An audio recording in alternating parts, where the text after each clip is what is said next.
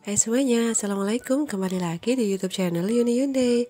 Di video kali ini aku mau membuat kolak pisang tape. Nah ini bisa jadi menu buka puasa kita nanti ya. Gimana cara aku bikinnya?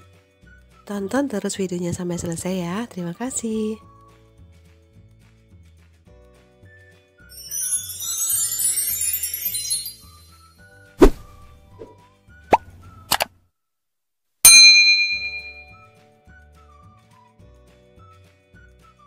Nah untuk bahan-bahannya di sini aku punya tape.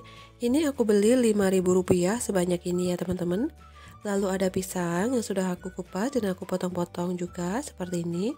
Selanjutnya di sini ada 1200 ml air ya. Lalu ada satu bungkus santan kara seberat 65 ml dan ada dua helai daun pandan. Kita akan talikan simpul seperti ini ya.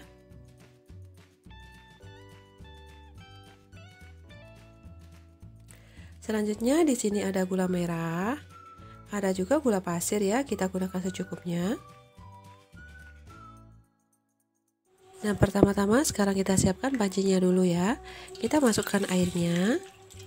Lalu masukkan juga daun pandannya ya, teman-teman.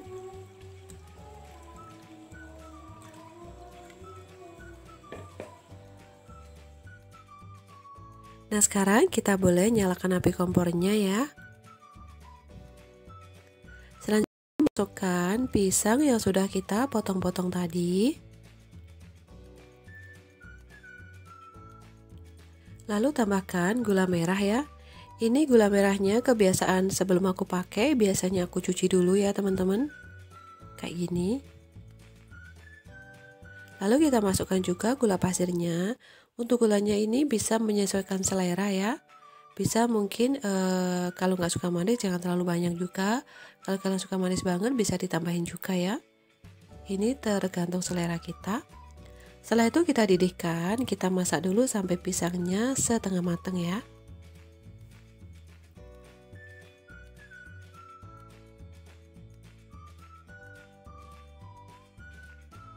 Nah ini sudah kita rebus selama kurang lebih 5 menitan ya.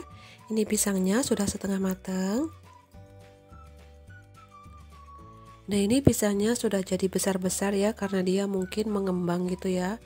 Dia empuk. Lalu sekarang kita akan masukkan tapenya ya.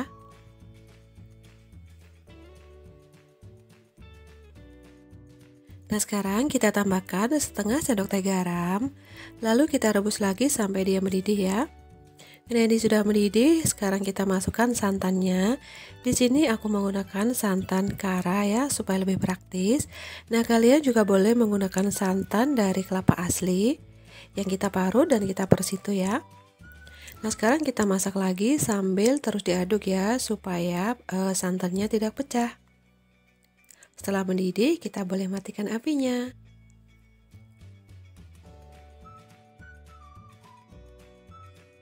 Nah ini dia kolak tape pisang kita sudah jadi ya teman-teman. Sudah siap untuk kita hidangkan Atau siap menunggu kita berbuka puasa nanti. Ini bikinnya sangat praktis dengan bahan yang sangat ekonomis juga. Nah selamat mencoba ya teman-teman untuk kita berbuka puasa nanti. Semoga kalian suka. Jangan lupa di like, comment, dan subscribe Dan aktifkan juga tombol loncengnya. Terima kasih semuanya. Selamat menunggu berbuka puasa. Wassalamualaikum warahmatullahi wabarakatuh